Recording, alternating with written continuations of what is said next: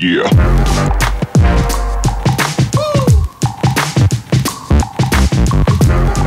Vou fazer um elogio à Argentina.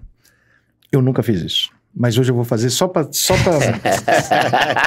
Eu quis provocar isso, Tô tá? gostando dessa É, brincadeira. ah, mas tá é, doendo, é, mas tá é. doendo, mas vou Gostando dessa brincadeira. Ah, eu vou fazer. Vamos lá. Força, Rica. Vai sair. Eu vou, que é o seguinte. Eu assisti durante a Copa do Mundo essa cena que eu re- descrevi pra vocês no intervalo do Brasil e Alemanha, dos jornalistas brasileiros achando engraçado. Eu assisti, a- se eu não me engano, o André Rizek com lágrimas nos olhos porque a Espanha foi eliminada da Copa do Mundo e era o fim de uma geração. E a imprensa espanhola se emocionou e agradeceu aquela seleção por tudo que eles haviam feito, embora eles tivessem saído da primeira fase. E o Rizek ficou emocionado com aquilo. Interessante. Acho justo. E vi, vi o Brasil virar chacota. Soube de um jornalista, imagina um cara muito mal-humorado, quase ninguém gosta dele, na redação da ESPN que deitou no chão para comemorar a vitória de 7 a 1 da Alemanha, no sétimo gol da Alemanha. Eu sei de relatos de redação onde as pessoas comemoravam a vitória da Alemanha contra o Brasil. É ser muito mal. E aí, irmão, no dia seguinte tem a Alemanha, tem Holanda e Argentina. Certo? No estádio do Corinthians, na Arena do Corinthians. Sim, sim, sim. Eu devolvi, eu, eu me descredenciei no site, cancelei minha passagem, porque eu falei, se eu pisar lá e um argentino fizer sete na minha cara, eu vou ser preso. Vai dar ruim. Eu vou ser preso. Eu não tenho cabeça nenhuma pra lidar com vocês. Uhum. É vocês com o Flamengo. Eu não tenho nem a menor cabeça pra lidar com vocês. É. Tanto que na final do- da Copa do Mundo saí na porrada com seis argentinos. Pô. Voltei pra cá tudo ralado, fudido. pô, seis caras me encurralaram, me jogaram na rampa do Maracanã e eu, de- eu descendo, os caras. Um deitou atrás de mim e os outros me empurraram. Porque eu passei falando, chupa, o cara que a Alemanha tinha ganhado. Os caras, sete, sete, sete, é teu cu, cinco copas. Eu comecei a xingar os argentinos, os caras me jogaram no chão.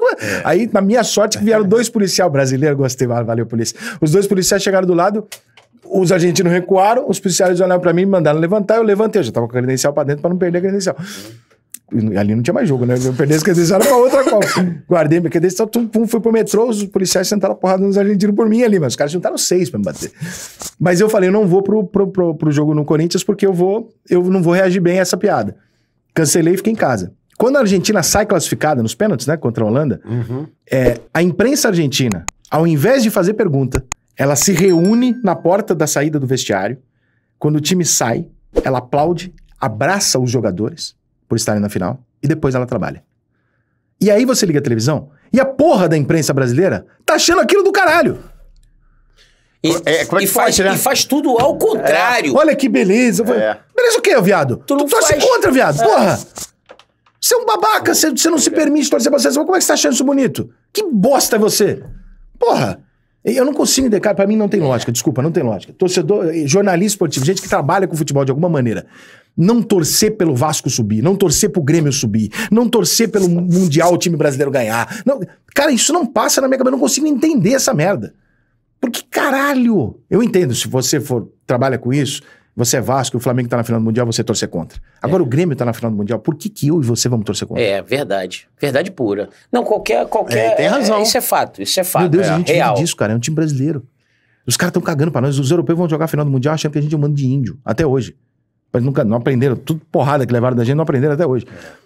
É, entendeu? E a gente, a gente acha engraçado ser menosprezado, ser inferiorizado. Eu não acho, cara. Eu não nasci pra ser vítima. Eu não sou vítima de ninguém, cara. Procurando um novo lar? Acesse lopesenjoymóveis.com.br e encontre as melhores opções do Rio. Nossos consultores esperam por você nas sete lojas espalhadas pela cidade. Quer vender ou alugar? 34349000.